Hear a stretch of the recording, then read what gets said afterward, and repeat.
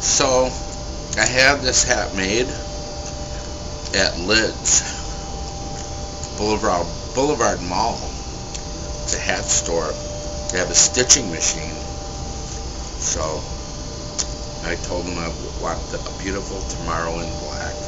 Next time I think I'm going to get it in white. But anyway, this song is called You Don't Have to Lie to Me.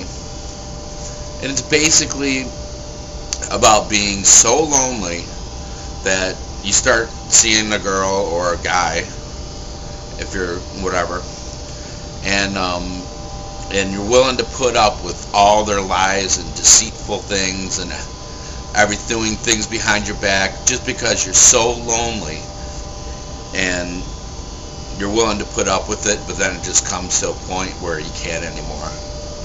So I hope you like it. It's an original